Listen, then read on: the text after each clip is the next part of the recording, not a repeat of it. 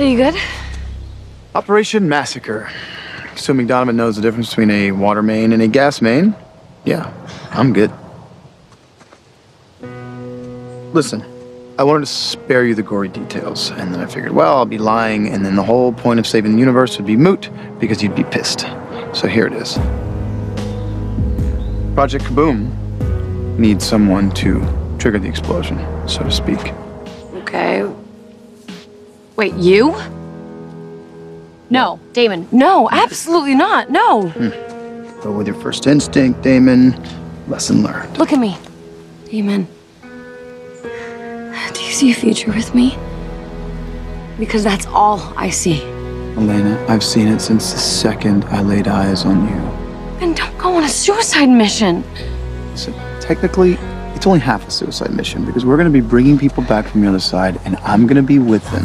Well, then what if something goes wrong? All right. Not to relive old fights, but this is my choice, and I need you to respect it. That was a low blow. Hey, I will make it back to you.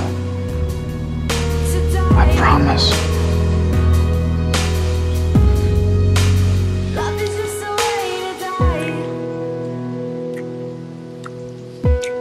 Promise you.